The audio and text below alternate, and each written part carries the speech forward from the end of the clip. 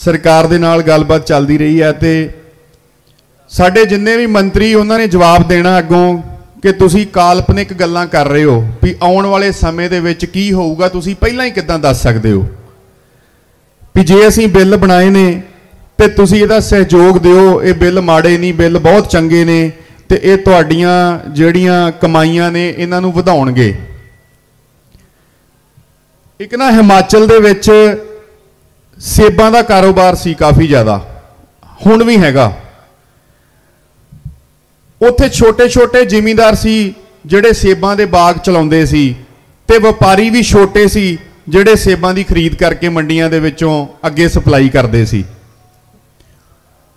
ਇਹ ਅਡਾਨੀ ਗਰੁੱਪ ਦੀ ਨਜ਼ਰ ਪੈ ਗਈ ਉੱਥੇ ਕਿ ਇਹ ਸੇਬਾਂ ਦੇ ਛੋਟੇ-ਛੋਟੇ ਵਪਾਰੀ ਨੇ ਤੇ ਛੋਟੇ-ਛੋਟੇ ਜ਼ਿਮੀਂਦਾਰ ਨੇ। ਇਹਨਾਂ ਨੇ ਚੰਗੇ ਵੱਡੇ ਗਦਾਮ ਬਣਾਤੇ ਉੱਥੇ। ਸੇਬਾਂ ਨੂੰ ਸਟੋਰ ਕਰਨ ਵਾਸਤੇ, ਅੱਗੇ ਸਪਲਾਈ ਦੇਣ ਵਾਸਤੇ। ਜਦੋਂ ਇਹਨਾਂ ਨੇ ਪਹਿਲੇ ਸਾਲ ਖਰੀਦ ਕੀਤੀ ਨਾ, ਜਿਹੜੇ ਵਪਾਰੀ ਸੀ ਲੋਕਲ ਛੋਟੇ ਵਪਾਰੀ, ਉਹ 20 ਰੁਪਏ ਕਿਲੋ ਦੇ ਹਿਸਾਬ ਨਾਲ ਖਰੀਦਦੇ ਸੀ। ਇਹਨਾਂ ਨੇ 2 ਰੁਪਏ ਵਧਾ ਕੇ ਤੇ 22 ਰੁਪਏ ਕਿਲੋ ਦੇ ਹਿਸਾਬ ਨਾਲ ਸੇਬ ਖਰੀਦਣੇ ਸ਼ੁਰੂ ਕਰਤੇ। ਤੇ ਸਾਡੀ ਫਿਤਰਤ 'ਚ ਆ ਵੀ ਜਿੱਥੇ ਅਸੀਂ ਇੰਨੀ ਮਿਹਨਤ ਕਰਕੇ ਆਪਣਾ ਅਨਾਜ ਉਗਾਉਂਦੇ ਆ ਤੇ ਜਿੱਥੇ ਸਾਨੂੰ ਵੱਧ ਪੈਸੇ ਮਿਲਣਗੇ, ਅਸੀਂ ਉੱਥੇ ਜਾਵਾਂਗੇ। ਭਾਵੇਂ ਰੁਪਈਏ ਦਾ ਵੀ ਫ਼ਰਕ ਹੋਵੇ। ਇਹਨਾਂ 2 ਰੁਪਈਏ ਵਧਾ ਕੇ ਤੇ ਉਥੋਂ ਖਰੀਦ ਕੀਤੀ ਤੇ ਸਾਰੇ ਉਧਰਲੇ ਬੰਦੇ ਨੂੰ ਸ਼ਿਫਟ ਹੋ ਗਏ। ਉਹ ਇੱਕ ਸਾਲ ਵਪਾਰੀਆਂ ਨੇ ਘਾਟਾ ਝੱਲਿਆ। ਅਗਲੇ ਸਾਲ ਇਹਨਾਂ ਨੇ ਰੁਪਈਆ ਹੋਰ ਵਧਾ ਕੇ 23 ਰੁਪਈਏ ਨਾਲ ਕਰ ਲਈ। ਦੋਵਾਂ ਸਾਲਾਂ ਦੇ ਵਿੱਚ ਜਿੰਨੇ ਛੋਟੇ ਵਪਾਰੀ ਸੀ, ਖਤਮ ਹੋ ਗਏ। ਜਦੋਂ ਛੋਟੇ ਵਪਾਰੀ ਸਾਰੇ ਖਤਮ ਹੋ ਗਏ ਤੇ ਇਹਨਾਂ ਨੇ ਤੀਜੇ ਸਾਲ ਦੇ ਵਿੱਚ 6 ਰੁਪਏ ਕਿਲੋ ਦੇ ਹਿਸਾਬ ਨਾਲ ਖਰੀਦ ਕੀਤੀ। ਕਿਉਂਕਿ ਛੋਟਾ ਵਪਾਰੀ ਰਹਿ ਨਹੀਂ ਗਿਆ। ਜਿੱਥੇ 20 ਮਿਲਦੇ ਹੀ 14 ਰੁਪਏ ਘਟਾ ਕੇ 6 ਰੁਪਏ ਕੁਆਂਟਲ ਦੇ ਹਿਸਾਬ ਨਾਲ ਖਰੀਦ ਕੀਤੀ, ਇਹ ਰਿਕਾਰਡ ਦੇ ਵਿੱਚ ਹੈ। ਤੇ ਹੁਣ ਇਹ ਗੱਲਾਂ ਕਰਦੇ ਨੇ ਕਿ ਜਿਹੜਾ ਜ਼ਿਮੀਂਦਾਰ ਆ, ਜਿੱਥੇ ਮਰਜ਼ੀ ਆਪਣੀ ਫਸਲ ਲੈ ਕੇ ਜਾ ਸਕਦਾ, ਅਸੀਂ ਕਾਨੂੰਨ ਬਣਾਤਾ ਜਿੱਥੇ ਮਰਜ਼ੀ ਵੇਚੇ। ਇਹ ਤਾਂ 70 75 ਤੋਂ ਜ਼ਿਮੀਂਦਾਰ ਦੇ ਕੋਲ ਖੋਲ ਹੈ ਕਿ ਉਹ ਆਪਣਾ ਜਿੱਥੇ ਮਰਜ਼ੀ ਲੈ ਜੇ ਆਪਣਾ ਆਪਣੀਆਂ ਅਨਾਜ ਨੂੰ, ਜਿੱਥੇ ਮਰਜ਼ੀ ਆਪਣੀਆਂ ਫਸਲਾਂ ਨੂੰ ਕੱਟ ਕੇ ਲੈ ਕੇ ਜਾ ਸਕਦਾ, ਵੇਚ ਸਕਦਾ ਉੱਤੇ ਤੇ ਪਾਬੰਦੀ ਕੋਈ ਨਹੀਂ। ਮਤਲਬ ਮੈਂ ਬੜੀ ਸਿੰਪਲ ਜੀ ਭਾਸ਼ਾ ਦੇ ਵਿੱਚ ਸਮਝਾਉਣ ਦੀ ਕੋਸ਼ਿਸ਼ ਕਰ ਰਿਹਾ। ਕਿ ਉਹ ਤੇ 70 75 ਸਨ ਤੋਂ ਤੁਹਾਡੇ ਕੋਲ ਸਾਰੇ ਰਾਈਟਸ ਹੈਗੇ ਨੇ ਵੀ ਤੁਸੀਂ ਜਿੱਥੇ ਮਰਜ਼ੀ ਜਾ ਕੇ ਵੇਚ ਸਕਦੇ ਹੋ। ਤੇ ਫਿਰ ਇਹਦੇ ਵਿੱਚ ਨਵੀਂ ਕਿਹੜੀ ਗੱਲ ਹੈ? ਹੁਣ ਇਹੋ ਚੀਜ਼ ਉਹ ਹਿਮਾਚਲ ਦੇ ਜ਼ਿਮੀਂਦਾਰਾਂ ਦੇ ਕੋਲ ਵੀ ਆਈ ਵੀ ਜੇ ਤੁਹਾਨੂੰ ਨਹੀਂ ਐਕਸੈਪਟ ਹੈਗਾ ਵੀ ਤੁਹਾਨੂੰ ਇਹ ਮੁੱਲ ਨਹੀਂ ਚਾਹੀਦਾ ਤੇ ਤੁਸੀਂ ਬਾਹਰ ਜਾ ਕੇ ਵੇਚ ਲਓ ਕਿਤੇ। ਹੁਣ ਜਿਹੜੇ ਵੀਰ ਦੇ ਕੋਲ ਕੋਈ ਹੈ ਹੀ 2 3 4 5 ਕੁਇੰਟਲ ਸੇਬ ਆ, ਤੇ ਉਹ ਪਹਿਲਾਂ ਜੀਪ ਕਰੂਗਾ, ਜੀਪ ਕਰਕੇ ਪੰਜਾਬ ਲਿਆਊ ਜਾਂ ਦਿੱਲੀ ਲੈ ਕੇ ਆਊਗਾ। ਤੇ ਉਹਦਾ ਖਰਚਾ ਕਿੱਥੇ ਚਲੇ ਜਾਂਦਾ? ਜੇ ਕਿਲੋ ਦੇ ਉੱਤੇ ਲਾਈਏ, ਆਪਾਂ ਵੀ 6 ਰੁਪਏ ਮਿਲਦਾ ਪਿਆ, ਇੱਥੇ ਉਹਨੂੰ 15 ਮਿਲ ਜੂ, ਪਰ ਉਹ ਤੋਂ ਡਬਲ ਤੇ ਖਰਚਾ ਪੈ ਜਾਂਦਾ। ਉਹ ਜੇ ਛੋਟਾ ਕੈਂਟਰ ਕਰਕੇ ਲਿਆਊਗਾ, ਤੇ ਕੈਂਟਰ ਘੱਟੋ ਘੱਟ 10000 ਰੁਪਇਆ ਲਊਗਾ। ਹੁਣ ਜੇ ਉਹ ਥੋੜੀ ਵੱਡੀ ਗੱਡੀ ਕਰਕੇ ਲਿਆਊ 15 ਲਊ ਤੇ ਟਰੱਕ ਕਰੂਗਾ ਤੇ 25 ਲਊਗਾ, ਤੇ ਨਾ ਉਹਦੇ ਕੋਲ ਟਰੱਕ ਜਿੰਨਾ ਮਾਲ ਹੈ, ਤੇ ਨਾ ਉਹਦੇ ਕੋਲ ਵਿਚਕਾਰਲੀ ਗੱਡੀ ਜੋਨਾ ਹੈ, ਤੇ ਹੈਗਾ ਤੇ ਸਾਰਿਆਂ ਤੋਂ ਛੋਟੀ ਗੱਡੀ ਜੋਗਾ ਆ। ਉਹ ਖਰਚੇ ਵੀ ਨਹੀਂ ਪੂਰੇ ਹੁੰਦੇ। ਸੋ ਇਸੇ ਤਰੀਕੇ ਨਾਲ ਹੀ ਜਿਹੜੀ ਤੁਹਾਡੇ ਨਾਲ ਮੈਂ ਗੱਲ ਸਾਂਝੀ ਕੀਤੀ ਇਦਾਂ ਹੀ ਇਹ ਪੰਜਾਬ ਦੇ ਵਿੱਚ ਕਰਨ ਦੀ ਕੋਸ਼ਿਸ਼ ਕਰ ਰਹੇ ਆ। ਹੁਣ ਇਹ ਕਹਿ ਰਹੇ ਨੇ ਕਿ ਮੰਡੀ ਤੁਹਾਡੀ ਸਰਕਾਰੀ ਵੀ ਰਹੂ ਤੇ ਸਰਕਾਰੀ ਦੇ ਨਾਲ ਇੱਕ ਪ੍ਰਾਈਵੇਟ ਮੰਡੀ ਹੋਊਗੀ। ਉਹ ਪ੍ਰਾਈਵੇਟ ਮੰਡੀਆਂ ਕਿੰਨਾਂ ਦੀਆਂ ਨੇ? ਪ੍ਰਾਈਵੇਟ ਮੰਡੀਆਂ ਇਹਨਾਂ ਲੋਕਾਂ ਦੀਆਂ ਨੇ, ਜਿਨ੍ਹਾਂ ਦੀ ਇੱਕ ਇੱਕ ਦਿਨ ਦੀ ਕਮਾਈ 100 100 ਕਰੋੜ ਰੁਪਈਆ ਹੈ। ਅਡਾਨੀ ਗਰੁੱਪ ਦੀ 24 ਘੰਟਿਆਂ ਦੀ 99 ਕਰੋੜ ਰੁਪਈਆ ਕਮਾਈ ਹੈ। 24 ਘੰਟਿਆਂ ਦੀ 99 ਕਰੋੜ ਰੁਪਈਆ ਔਨ ਰਿਕਾਰਡ ਪੇਪਰਾਂ ਦੇ ਵਿੱਚ ਹੈ। ਜਦੋਂ ਵੀ ਇਹ ਲੋਕ ਕੋਈ ਨਵਾਂ ਕਾਰੋਬਾਰ ਸ਼ੁਰੂ ਕਰਦੇ ਨੇ ਨਾ, ਇਹ ਇਹ ਬਿਜ਼ਨਸ ਦੇ ਵਿੱਚ ਇੱਕ ਜਦੋਂ ਬਿਜ਼ਨਸ ਦੀ ਵਿਉਂਤਬੰਦੀ ਬਣਾਈ ਜਾਂਦੀ ਹੈ, ਉਹਦੇ ਵਿੱਚ ਪਹਿਲੇ 3-4 ਸਾਲ ਦਾ ਘਾਟਾ ਵੀ ਨਾਲ ਜੋੜਿਆ ਜਾਂਦਾ ਹੈ। ਵੀ ਮਾਰਕੀਟ ਦੇ ਵਿੱਚ ਦੂਜਿਆਂ ਨੂੰ ਕਿੱਦਾਂ ਖਤਮ ਕਰਨਾ ਤੇ ਕਿੰਨਾ ਘਾਟਾ ਪਊਗਾ, ਇਹ ਘਾਟੇ ਵਾਲਾ ਬਜਟ ਵੀ ਨਾਲ ਲੈ ਕੇ ਚੱਲਦੇ ਨੇ। ਹੁਣ ਇਹ ਕਹਿੰਦੇ ਨੇ ਜੀ ਪ੍ਰਾਈਵੇਟ ਮੰਡੀ ਹੈ, ਇੱਕ ਇੱਕ ਸਰਕਾਰੀ ਹੈ। ਅੱਜ ਅਸੀਂ ਸਰਕਾਰੀ ਮੰਡੀ ਦੇ ਵਿੱਚ ਆਪਣਾ ਫਸਲਾਂ ਨੂੰ ਲੈ ਕੇ ਜਾ ਰਹੇ ਹਾਂ। ਕੱਲ ਨੂੰ ਪ੍ਰਾਈਵੇਟ ਪਲੇਅਰ ਜਿਹੜਾ ਬਾਇਰ ਆ, ਉਹ ਨਾਲ ਖੜਾ ਆ। ਅਸੀਂ ਝੋਨਾ ਲੈ ਕੇ ਜਾਂਦੇ ਆ ਸਰਕਾਰੀ ਸਾਨੂੰ 1888 ਮਿਲ ਰਿਹਾ, ਉਹ ਕਹੂਗਾ, ਲਿਆਓ, ਮੈਂ ਤੁਹਾਨੂੰ 1950 ਦੇ ਹਿਸਾਬ ਨਾਲ ਪੈਸੇ ਦਿੰਦਾ। ਅਸੀਂ ਤਾਂ ਉਧਰ ਹੀ ਜਾਵਾਂਗੇ, ਜਿੱਥੇ 10 ਰੁਪਏ ਵੱਧ ਮਿਲਣਗੇ ਜਾਂ 50 ਵੱਧ ਮਿਲਣਗੇ। ਉਹ ਪਹਿਲਾ ਸਾਲ ਬਹੁਤ ਵਧੀਆ ਚੱਲੂ। ਦੂਜਾ ਸਾਲ ਵੀ ਬਹੁਤ ਵਧੀਆ ਚੱਲੂ। ਵੀ ਸਾਡੀ ਜਿਹੜੀ ਕਮਾਈ ਹੈ, ਹਰ ਕੁਆਂਟਲ ਦੇ ਨਾਲ ਐਡ ਹੁੰਦੀ ਜਾਊਗੀ। ਵੀ ਜੇ ਸਾਡਾ 30 35 ਕੁਇੰਟਲ ਝੋਨੇ ਤੋਂ ਅਸੀਂ ਕਹਿ ਰਹੀਏ ਵੀ ਇੰਨੀ ਕਮਾਈ ਹੋਈ ਹੈ ਤੇ ਉਹਦੇ ਤੋਂ 5-7000 ਵਧਿਆ ਕਰੂਗਾ, ਪਹਿਲੇ ਸਾਲ ਵੀ, ਦੂਜੇ ਸਾਲ ਵੀ। ਫਿਰ ਇਹ ਕੀ ਕਰਨਗੇ? ਜਿਵੇਂ ਇਹਨਾਂ ਹਿਮਾਚਲ ਦੇ ਵਿੱਚ ਕੀਤਾ ਵੀ ਛੋਟੇ ਵਪਾਰੀ ਖਤਮ ਨੇ, ਮੰਡੀਆਂ ਅੱਜ ਦੀ ਡੇਟ ਦੇ ਵਿੱਚ ਐਫਸੀਆਈ ਦੇ ਅੰਡਰ ਨੇ ਫੂਡ ਕਾਰਪੋਰੇਸ਼ਨ ਆਫ ਇੰਡੀਆ। ਉਹਦੇ 'ਚ ਹੋਰ ਏਜੰਸੀਆਂ ਆ ਜਾਂਦੀਆਂ ਪੰਸਪ ਆ ਜਾਂਦੀ ਆ ਫੂਡ ਗ੍ਰੇਨ ਆ ਜਾਂਦੀ, ਹੋਰ ਕਈ ਆ ਜਾਂਦੇ ਨੇ। ਹੁਣ ਇਹ ਜਦੋਂ 2 ਸਾਲ ਉਹਨਾਂ ਦੇ ਕੋਲ ਕੋ ਗਿਆ ਨਾ ਫਿਰ ਸਰਕਾਰ ਕਹੂਗੀ ਵੀ ਹੁਣ ਇਹਨਾਂ ਦੇ ਤਨਖਾਹਾਂ ਦਾ ਬਹੁਤ ਖਰਚਾ ਪੈ ਰਿਹਾ, ਇਹਨਾਂ ਦੇ ਦਫ਼ਤਰਾਂ ਦਾ ਬਹੁਤ ਖਰਚਾ ਪੈ ਰਿਹਾ। ਹੁਣ ਇਹਨਾਂ ਕੋਲ ਤੇ ਕੋਈ ਜ਼ਿਮੀਂਦਾਰ ਆਉਂਦਾ ਨਹੀਂ ਤੇ ਅਸੀਂ ਇਹਨਾਂ ਨੂੰ ਰੱਖ ਕੇ ਕੀ ਕਰਾਂਗੇ? ਇਹਨਾਂ ਨੂੰ ਬੰਦ ਕਰ ਦਿੰਨੇ ਆ ਤੇ ਫਿਰ ਉਹਨਾਂ ਨੂੰ ਬਚਾਉਣ ਵਾਸਤੇ ਕੋਈ ਇਦਾਂ ਦਾ ਅੰਦੋਲਨ ਕਰਨਾ ਪਊਗਾ। ਫਿਰ ਤਾਂ ਅਸੀਂ ਜ਼ਿਮੀਂਦਾਰ ਅੰਦੋਲਨਾਂ ਦੇ ਵਿੱਚ ਹੀ ਲੰਘ ਜਾਾਂਗੇ। ਸੋ 2 ਸਾਲ ਤੇ ਬੜੇ ਵਧੀਆ ਪੈਸੇ ਮਿਲਣਗੇ। ਪਰ ਤੀਜੇ ਸਾਲ ਦੇ ਵਿੱਚ, ਚੌਥੇ ਸਾਲ ਦੇ ਵਿੱਚ ਜਦੋਂ ਐਫਸੀਆਈ ਬੰਦ ਕਰਤੀ, ਸਰਕਾਰੀ ਖਰੀਦ ਬੰਦ ਹੋ ਗਈ ਵੀ ਸਾਰਾ ਤੇ ਤੁਸੀਂ ਪ੍ਰਾਈਵੇਟਾਂ ਦੇ ਕੋਲ ਜਾ ਰਹੇ ਹੋ। ਫਿਰ ਜਿਹੜੀ ਅਸਲੀ ਮਨੋਪਲੀ ਹੈ ਜਿਹੜੀ ਅਸਲੀ ਚਾਲ ਹੈ ਉਹਨਾਂ ਦੀ ਉਹ ਸਾਹਮਣੇ ਆਊਗੀ। ਜਿੱਦਾਂ ਅੱਜ ਬਿਹਾਰ ਦੇ ਵਿੱਚ ਕਿਸੇ ਨੂੰ 800 ਰੁਪਿਆ ਰੇਟ ਮਿਲਦਾ, ਕਿਸੇ ਨੂੰ 900 ਕਿਸੇ ਨੂੰ 1000 1000 ਤੋਂ ਵੱਧ ਕਿਸੇ ਨੂੰ ਵੀ ਝੋਨੇ ਦਾ ਰੇਟ ਨਹੀਂ ਮਿਲਿਆ ਉੱਥੇ। ਤੇ ਅੱਧਾ ਕਿ ਝੋਨਾ ਉਹਨਾਂ ਦਾ ਉਦਾਂ ਹੀ ਸੜ ਜਾਂਦਾ ਟਰਾਲੀਆਂ ਦੇ ਵਿੱਚ ਜਾਂ ਉਹਨਾਂ ਦੀਆਂ ਜ਼ਮੀਨਾਂ ਦੇ ਵਿੱਚ। ਕਿਉਂਕਿ ਸਰਕਾਰੀ ਮੰਡੀ ਨਹੀਂ, ਪ੍ਰਾਈਵੇਟ ਬੰਦੇ ਨੇ ਆਉਣਾ ਖਰੀਦ ਕਰਨ। ਉਹਦਾ ਦਿਲ ਕਰੂਗਾ, ਜਦੋਂ ਆਊਗਾ, ਕੋਈ ਉੱਤੇ ਪਾਬੰਦੀ ਨਹੀਂ ਹੈਗੀ ਵੀ ਤੂੰ ਇੰਨੇ ਟਾਈਮ ਦੇ ਵਿੱਚ ਖਰੀਦ ਕਰ। 4-4 5-5 ਦਿਨ ਤੇ ਟਰਾਲੀਆਂ ਦੇ ਵਿੱਚ ਝੋਨਾ ਜਦੋਂ ਪਿਆ ਰਹਿ ਜੇ, ਤੇ ਜਿਹੜਾ ਡਾਲੇ 'ਚ ਥੱਲੇ, ਉਹਦੇ 'ਚੋਂ ਅੱਧਾ ਕਾਲਾ ਹੋ ਗਿਆ ਹੁੰਦਾ। ਤੇ ਫਿਰ ਰੇਟ ਉਹ ਦੇਣਗੇ ਜਿਹੜਾ ਅੱਜ ਬਿਹਾਰ ਦੇ ਵਿੱਚ ਰੇਟ ਮਿਲ ਰਿਹਾ, ਉਹ ਸਾਨੂੰ ਸਾਰੇ ਜ਼ਿਮੀਂਦਾਰਾਂ ਨੂੰ ਦੇਣਗੇ। ਤੇ ਇਹਦੇ ਵਿੱਚ ਸਾਡੀ ਤਰੱਕੀ ਕਿੱਦਾਂ ਹੋਈ? ਤਰੱਕੀ ਤਾਂ ਸਾਡੀ ਹੋਈ ਨਹੀਂ, ਅਸੀਂ ਤਾਂ ਹੋਰ ਥੱਲੇ ਚਲੇ ਗਏ। ਫਿਰ ਸਾਡੇ ਕੋਲ ਰਸਤਾ ਕੋਈ ਨਹੀਂ ਹੋਣਾ। ਫਿਰ ਰਸਤਾ ਸਾਡੇ ਕੋਲ ਸਰਕਾਰੀ ਖਰੀਦ ਬੰਦ ਹੈ, ਪ੍ਰਾਈਵੇਟ ਬੰਦੇ ਨੇ ਉਹੀ ਖਰੀਦ ਕਰਨਗੇ, ਦੋ ਤਿੰਨ ਕਾਰਪੋਰੇਟ ਘਰਾਣੇ ਨੇ। ਫਿਰ ਨਾਲ ਇਹ ਵੀ ਗੱਲ ਆਉਂਦੀ ਹੈ ਕਿ ਜਿਹੜੇ ਆੜਤੀਏ ਨੇ ਉਹ ਖਰੀਦ ਅੱਜ ਵੀ ਕਰ ਰਹੇ ਆ, ਉਹ ਕੱਲ ਵੀ ਕਰਨਗੇ। ਜਿਹੜੇ ਸੈਲਰ ਵਾਲੇ ਨੇ, ਸੈਲਰ ਵਾਲੇ ਅੱਜ ਵੀ ਆੜਤੀਏ ਕੋਲੋਂ ਝੋਨਾ ਲੈ ਕੇ ਜਾ ਰਹੇ ਨੇ, ਉਹ ਕਰਨਗੇ ਖਰੀਦ। ਹੁਣ ਤੁਸੀਂ ਵੀ ਬੜੇ ਸਿਆਣੇ ਹੋ। ਕਿਹੜਾ ਆੜਤੀਆ ਆ ਜਿਹਦੇ ਕੋਲ 5-7 ਕਰੋੜ ਰੁਪਈਆ ਮੌਕੇ ਤੇ ਤੁਹਾਨੂੰ ਦੇਣ ਲਈ ਹੈਗਾ? ਆੜਤੀਆਂ ਦੇ ਕਾਰੋਬਾਰ ਵੀ ਲਿਮਟਾਂ ਦੇ ਸਿਰ ਤੇ ਚੱਲ ਰਹੇ ਨੇ। ਸੈਲਰ ਵਾਲਿਆਂ ਦੇ ਵੀ ਲਿਮਟਾਂ ਦੇ ਸਿਰ ਤੇ ਚੱਲ ਰਹੇ ਨੇ। ਹੁਣ ਅਸੀਂ ਫਸਲ ਲੈ ਕੇ ਜਾਵਾਂਗੇ ਆੜਤੀਏ ਦੇ ਕੋਲ।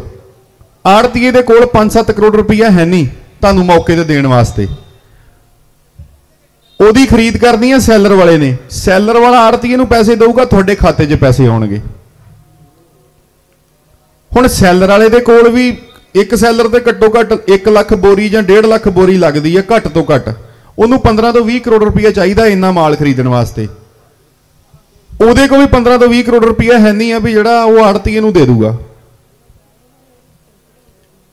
ਤੇ ਇਹ ਜਿਹੜੇ ਵੱਡੇ ਘਰਾਣੇ ਨੇ, ਇਹਨਾਂ ਨੇ ਵੱਡੇ ਵੱਡੇ ਸੈਲੋ, ਵੱਡੇ ਵੱਡੇ ਸੈਲਰ, ਇੱਕ ਇੱਕ ਜ਼ਿਲ੍ਹੇ ਦੇ ਵਿੱਚ ਇੱਕ ਇੱਕ ਸੈਲੋ ਤੇ ਇੱਕ ਇੱਕ ਸੈਲਰ ਇਦਾਂ ਦਾ ਲਾ ਦੇਣਾ ਵੀ ਜਿਹੜਾ ਸਾਰੇ ਜ਼ਿਲ੍ਹੇ ਦੀ ਖਰੀਦ ਉੱਥੇ ਸਟੋਰ ਕਰ ਸਕਦੇ ਆ, ਸਾਰੇ ਜ਼ਿਲ੍ਹੇ ਦੀ ਖਰੀਦ ਉੱਥੇ ਕਰ, ਲੈ ਕੇ ਆ ਸਕਦੇ ਆ।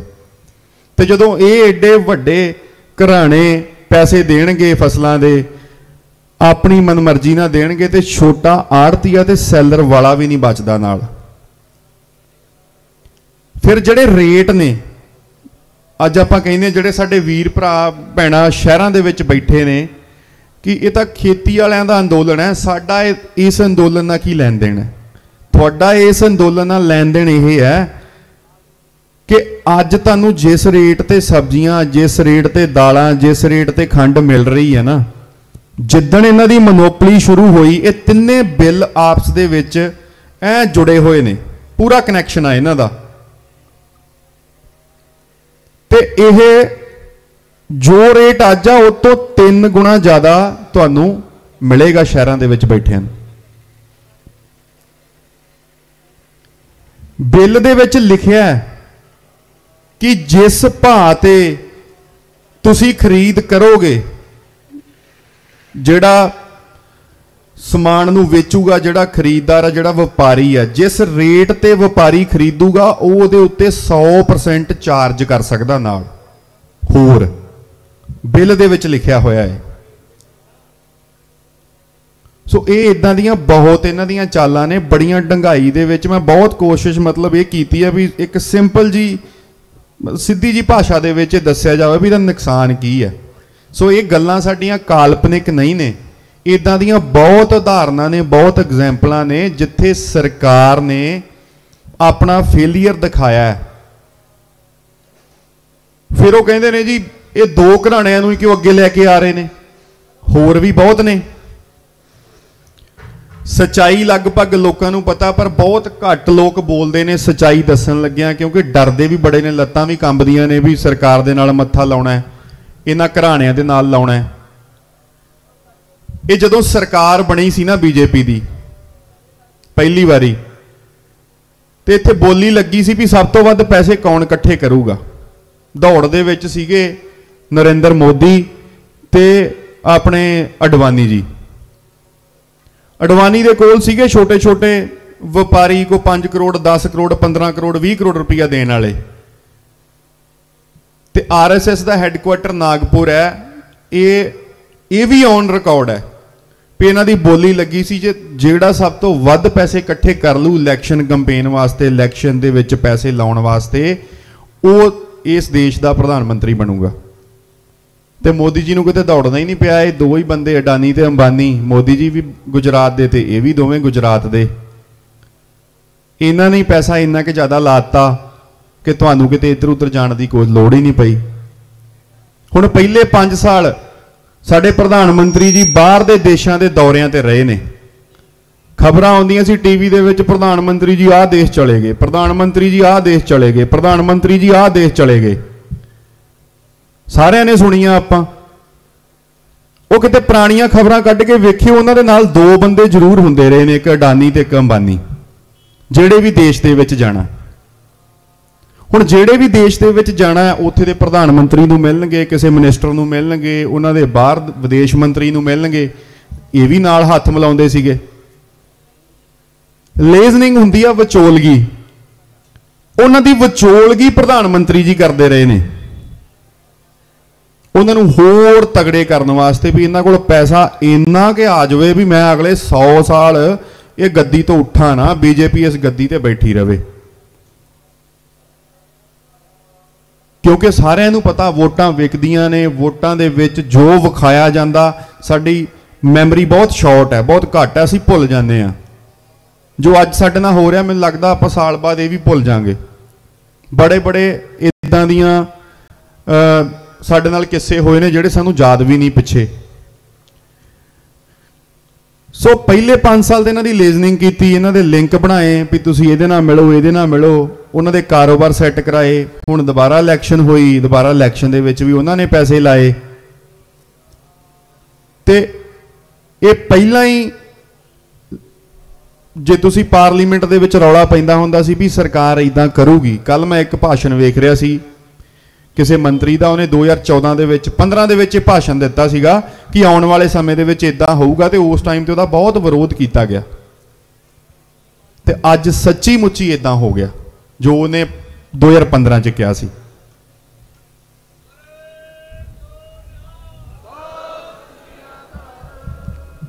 ਫਿਰ ਮੇਰੇ ਬੜੇ ਵੀਰ ਨੇ, ਬੜੇ ਮੇਰੇ ਭਰਾ ਨੇ, ਉਹ ਇਸ ਤਰੀਕੇ ਨਾਲ ਕਹਿੰਦੇ ਨੇ ਕਿ ਤੁਸੀਂ ਲਗਭਗ 3 ਮਹੀਨੇ ਹੋ ਚਲੇ, ਤੁਸੀਂ ਸ਼ਾਂਤਮਈ ਬੈਠੇ ਹੋ, ਤੁਸੀਂ ਤੇ ਭਾਵੇਂ 6 ਮਹੀਨੇ ਹੋਰ ਸ਼ਾਂਤਮਈ ਬੈਠੇ ਰਹੋ, ਸਰਕਾਰ ਨੂੰ ਕੀ ਫ਼ਰਕ ਪੈਂਦਾ? ਸਰਕਾਰ ਨੂੰ ਫ਼ਰਕ ਹੀ ਇਸੇ ਚੀਜ਼ ਨਾਲ ਪੈਂਦਾ।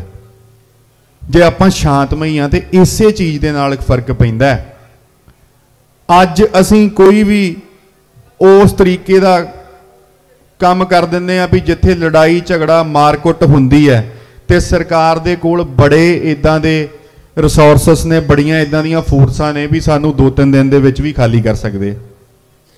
ਤੇ ਦੁਨੀਆ ਦੇ ਅੱਗੇ ਸਾਡੀ ਜਿਹੜੀ ਫੋਟੋ ਹੈ ਉਹ ਇਸ ਤਰੀਕੇ ਨਾਲ ਦੱਸਣਗੇ ਕਿ ਇਹ ਤਾਂ ਮਾਰਖੋਰੇ ਲੋਕ ਨੇ। ਇਹਨਾਂ ਨੇ ਆਪਣਾ ਅਸਲੀ ਚਿਹਰਾ ਤੁਹਾਨੂੰ ਦੱਸ ਦਿੱਤਾ ਹੈ।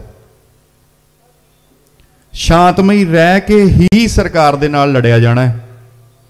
ਭਾਵੇਂ ਇੱਥੇ 5 ਮਹੀਨੇ 6 ਮਹੀਨੇ 2 ਮਹੀਨੇ 3 ਮਹੀਨੇ, ਜਿੰਨਾ ਚਿਰ ਵੀ ਲੱਗਦਾ ਵੀ ਸ਼ਾਂਤਮਈ ਰਹਿ ਕੇ ਹੀ ਲੜਿਆ ਜਾਊਗਾ, ਸ਼ਾਂਤਮਈ ਰਹਿ ਕੇ ਹੀ ਜਿੱਤਿਆ ਜਾਊਗਾ। ਸੋ ਅਸੀਂ ਗਮਰਾਹ ਨਾ ਹੋਈਏ। ਜਿਸ ਰਸਤੇ ਤੇ ਤੁਰੇ ਆ, ਇਸੇ ਰਸਤੇ ਤੇ ਜਿੱਦਾਂ ਪਹਿਲਾਂ ਚੱਲਦੇ ਆ ਰਹੇ ਆ ਸਹੀ ਤਰੀਕੇ ਨਾਲ, ਇੱਕ ਸੇਧ ਦੇ ਨਾਲ, ਇਸੇ ਤਰੀਕੇ ਨਾਲ ਚੱਲੀਏ। ਜਿਹੜੇ ਸਾਡੇ ਯੂਨੀਅਨ ਲੀਡਰ ਨੇ, ਸਾਡੇ ਆਗੂ ਨੇ, ਉਹਨਾਂ ਦੇ ਵਿੱਚ ਵਿਸ਼ਵਾਸ ਬਣਾ ਕੇ ਰੱਖੀਏ। ਹਾਂ, ਜਿੱਥੇ ਕੋਈ ਸਾਡਾ ਡਿਸਐਗਰੀਮੈਂਟ ਆ, ਉਹਨਾਂ ਨਾਲ ਨਹੀਂ ਸਹਿਮਤੀ, ਉਹ ਅਸੀਂ ਮਿਲ ਕੇ ਉਹਨਾਂ ਨਾਲ ਗੱਲ ਕਰਕੇ, ਜੇ ਇੱਕ ਆਗੂ ਨਹੀਂ ਅਵੇਲੇਬਲ ਦੂਜਾ ਅਵੇਲੇਬਲ ਹੈ। ਤੁਹਾਨੂੰ ਦੂਜਾ ਮਿਲ ਸਕਦਾ, ਤੀਜਾ ਮਿਲ ਸਕਦਾ। ਮਿਲ ਕੇ ਆਪਾਂ ਗੱਲ ਉਹਨੂੰ ਕਿਸੇ ਵੀ ਗੱਲ ਨੂੰ ਵਧਾਉਣ ਤੋਂ ਪਹਿਲਾਂ, ਕਿਸੇ ਵੀ ਗੱਲ ਦੇ ਬਾਰੇ ਗੱਲ ਕਰਨ ਤੋਂ ਪਹਿਲਾਂ ਉਹਨੂੰ ਜਾਣਨ ਦੀ ਬਹੁਤ ਲੋੜ ਹੈ ਕਿ ਇਹ ਸੱਚਾਈ ਹੈ ਕਿ ਝੂਠ ਹੈ। ਜੇ ਅੱਜ ਦੀ ਡੇਟ ਦੇ ਵਿੱਚ ਸੋਸ਼ਲ ਮੀਡੀਆ ਨੇ ਬਹੁਤ ਚੰਗੇ ਕੰਮ ਵੀ ਕੀਤੇ ਨੇ ਤੇ ਸੋਸ਼ਲ ਮੀਡੀਆ ਦਾ ਬੁਰੇ ਕੰਮਾਂ ਦੇ ਵਿੱਚ ਵੀ ਬਹੁਤ ਹੱਥ ਹੈ। ਸੋ ਹਰ ਗੱਲ ਤੇ ਯਕੀਨ ਕਰਨਾ, ਹਰ ਗੱਲ ਤੇ ਵਿਸ਼ਵਾਸ ਕਰਨਾ, ਅੱਖਾਂ ਬੰਦ ਕਰਕੇ ਵੀ ਮਾੜਾ ਹੈ। ਉਹਦੇ ਤੱਤ ਵੇਖ ਕੇ ਫਿਰ ਉਸ ਚੀਜ਼ ਦੇ ਉੱਪਰ ਪਹਿਰਾ ਦਿਓ। ਕਦੀ ਵੀ ਜੰਗ ਦੇ ਵਿੱਚ ਘੋੜੇ ਬਦਲੇ ਨਹੀਂ ਜਾਂਦੇ ਜੰਗ ਦੇ ਵਿੱਚ ਘੋੜੇ ਉਹੀ ਰਹਿੰਦੇ ਨੇ ਜਿਹੜੇ ਆਪਾਂ ਵਰਤਦੇ ਆਂ ਜਿਹੜੇ ਪਹਿਲਾਂ ਤੋਂ ਸ਼ੁਰੂਆਤ ਕਰਦੇ ਆਂ ਜਿਹੜੇ ਸਾਡੇ ਆਗੂ ਨੇ ਨਾ ਸਾਡੇ ਆਗੂ ਇਸ ਵੇਲੇ ਸਾਡੇ ਜਰਨੈਲ ਨੇ। ਤੇ ਜਿਹੜੇ ਅਸੀਂ ਆ, ਅਸੀਂ ਉਹਨਾਂ ਦੀ ਆਰਮੀ ਆ ਇਹ ਸਚਾਈ ਆ ਕਿਸੇ ਨੂੰ ਗਲਤ ਵੀ ਲੱਗ ਸਕਦੀ ਹੈ ਕਿਸੇ ਨੂੰ ਸਹੀ ਵੀ ਲੱਗ ਸਕਦੀ ਹੈ। ਤੇ ਜਦੋਂ ਜਰਨੈਲ ਕੋਈ ਫੈਸਲੇ ਲੈਂਦੇ ਨੇ ਨਾ, ਉਹ ਸਾਡੇ ਵਿੱਚ ਜੋਸ਼ ਵੀ ਭਰਦੇ ਨੇ। ਬਹੁਤ ਗੱਲਾਂ ਵਧਾ ਚੜਾ ਕੇ ਸਾਨੂੰ ਮਤਲਬ ਉੱਪਰ ਲੈ ਕੇ ਆਉਣ ਲਈ ਵੀ ਇਹਨਾਂ ਦਾ ਕਿਤੇ ਜਜ਼ਬਾ ਟੁੱਟ ਨਾ ਜਾਵੇ, ਬਹੁਤ ਗੱਲਾਂ ਇਦਾਂ ਦੀਆਂ ਕਰਦੇ ਨੇ। ਸਮੇਂ ਤੋਂ ਸਮੇਂ ਉਹ ਆਪਣੇ ਡਿਸੀਜਨ ਵੀ ਬਦਲਦੇ ਨੇ। ਕਿਉਂ? ਕਿਉਂਕਿ ਜਰਨੈਲ ਦਾ ਫਰਜ਼ ਹੈ ਕਿ ਉਹਨੇ ਆਪਣੀ ਆਰਮੀ ਦੀ ਰਾਖੀ ਵੀ ਕਰਨੀ ਹੈ ਤੇ ਆਪਣੇ ਬੰਦੇ ਵੀ ਨਹੀਂ ਮਰਵਾਉਣੇ। ਇਹ ਚੀਜ਼ਾਂ ਸਾਨੂੰ ਸਮਝਣ ਦੀ ਲੋੜ ਹੈ। ਜੋ ਵਖਰੇਵੇਂ ਨੇ, ਜੋ ਸਾਡੇ ਨਹੀਂ ਸੋਚ, ਇੱਕ ਪਰਿਵਾਰ ਦੇ ਵਿੱਚ ਵੀ ਪੰਜ ਜੀਆਂ ਦੀ ਸੋਚ ਨਹੀਂ ਮਿਲਦੀ ਹੁੰਦੀ, ਪਰਿਵਾਰ ਦੇ ਵਿੱਚ ਵੀ ਝਗੜੇ ਹੁੰਦੇ ਨੇ। ਤੇ ਇੱਥੇ ਤੇ 31 32 ਜਥੇਬੰਦੀਆਂ ਨੇ ਤੇ ਉਦਾਂ 450 500 ਤੋਂ ਵੱਧ ਜਥੇਬੰਦੀਆਂ ਤੇ ਇੱਥੇ ਆਪ ਮਹਾਰੇ ਵੀ ਲੋਕ ਬਹੁਤ ਆਏ ਹੋਏ ਨੇ। ਤੁਸੀਂ ਇੱਥੋਂ ਚੱਲ ਪੋ ਪਿੱਛੇ ਤੱਕ ਕਿਸੇ ਨੂੰ ਪੁੱਛੋ ਕਿਹੜੀ ਜਥੇਬੰਦੀ ਨਾਲ ਹੋ ਤੇ ਤੁਹਾਨੂੰ ਅੱਧਿਆਂ ਦਾ ਜਵਾਬ ਇਹ ਮਿਲੇਗਾ ਕਿ ਨਹੀਂ, ਅਸੀਂ ਜਥੇਬੰਦੀ ਨਾਲ ਨਹੀਂ, ਅਸੀਂ ਆਪ ਮਹਾਰੇ ਆਏ ਹੋਏ ਆ। ਸੋ ਜਰਨੈਲਾਂ ਦੇ ਨਾਲ ਸਾਥ ਦੇਣ ਦੀ ਲੋੜ ਹੈ। ਜਰਨੈਲਾਂ ਦੇ ਉੱਪਰ ਬਿਲਕੁਲ ਸਪਸ਼ਟ ਹੋ ਕੇ ਵਿਸ਼ਵਾਸ ਕਰਨ ਦੀ ਲੋੜ ਹੈ। ਜੇ ਕੋਈ ਗਲਤੀਆਂ ਕਰਨਗੇ ਨਾ, ਤੇ ਜਰਨੈਲਾਂ ਨੂੰ ਵੀ ਪਤਾ ਵੀ ਹੁਣ ਆਰਮੀ ਸਾਡੀ ਇੰਨੀ ਤੱਤੀ ਹੈ ਕਿ ਇੱਥੇ ਟੰਗ ਦੇਣਗੇ, ਪੁੱਠੇ ਜੇ ਅਸੀਂ ਕੋਈ ਗਲਤ ਡਿਸੀਜਨ ਲਿਆ, ਕੋਈ ਗਲਤ ਫੈਸਲਾ ਲਿਆ, ਇਹ ਵੀ ਨਾਲ ਹੈ। ਸੋ ਆਪਾਂ ਸਹੀ ਤਰੀਕੇ ਨਾਲ ਚੱਲੀਏ, ਆਗੂਆਂ ਦੀ ਅਗਵਾਈ ਦੇ ਵਿੱਚ ਚੱਲੀਏ ਕੋਈ ਵੀ ਗੱਲ ਆ, ਪੰਜਾਬ ਜਾ ਕੇ ਨਜਿੱਠ ਲਾਂਗੇ, ਹਰਿਆਣੇ ਵਾਲੇ ਹਰਿਆਣੇ ਜਾ ਕੇ ਨਜਿੱਠ ਲਿਓ। ਇਸ ਵੇਲੇ ਸਾਥ ਦਈਏ, ਮੋਢੇ ਨਾਲ ਮੋਢਾ ਜੋੜ ਕੇ ਲਾ ਕੇ ਚੱਲੀਏ, ਤਾਂ ਜੋ ਅਸੀਂ ਵੀ ਇਹਨਾਂ ਦਾ ਹੌਸਲਾ ਬਣ ਸਕੀਏ ਤੇ ਇਹਨਾਂ ਕਿਤੇ ਟੁੱਟਣ ਨਾ ਦਈਏ।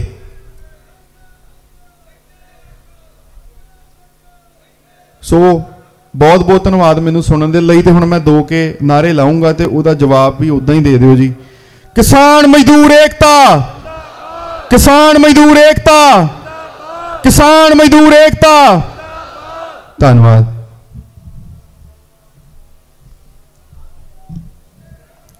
ਬਹੁਤ ਧੰਨਵਾਦ ਸਾਡੇ ਵੱਡੇ ਵੀਰ ਅਤੇ ਮਾਝਾ ਕਿਸਾਨ ਸੰਘਰਸ਼ ਕਮੇਟੀ ਦੇ ਸਰਮੋਏ ਆਗੂ ਸਰਦਾਰ ਬਲਜੀਤ ਸਿੰਘ ਜੀ, ਜਿਨ੍ਹਾਂ ਨੇ ਬਹੁਤ ਹੀ ਸੁਚੱਜੇ ਢੰਗ ਦੇ ਨਾਲ ਅਤੇ ਡੂੰਘਾਈ ਦੇ ਨਾਲ ਨਾਲ ਐਗਜ਼ਾਮਪਲ ਦੇ ਕੇ, ਉਦਾਹਰਨਾਂ ਦੇ ਕੇ ਸਾਨੂੰ ਸਮਝਾਉਣਾ ਕੀਤਾ ਹੈ ਕਿ ਆਪਾਂ ਇਹਨਾਂ ਕਾਨੂੰਨਾਂ ਨੂੰ ਕਿਤੇ ਮਜ਼ਾਕ ਨਾ ਸਮਝ ਬੈਠੀਏ, ਜਿਵੇਂ ਆਪਾਂ ਕਹਿ ਦਿੰਨੇ ਆ ਵੀ ਕੀ ਲੋੜ ਆ, ਉੱਥੇ ਬਹੁਤ ਜਾਣੇ ਗਏ ਆ। ਆਉਣ ਵਾਲੇ ਸਮੇਂ ਦੇ ਵਿੱਚ ਭਾਰੀ ਨੁਕਸਾਨ ਝੱਲਣਾ ਪੈ ਸਕਦਾ ਆ। ਪੰਜਾਬ ਨੂੰ ਵੀ ਜਾਂ ਹੋਰ ਰਾਜਾਂ ਨੂੰ ਪੂਰੇ ਹਿੰਦੁਸਤਾਨ ਨੂੰ ਜੋ ਕਾਲੇ ਕਾਨੂੰਨ ਲਾਗੂ ਕੀਤੇ ਨੇ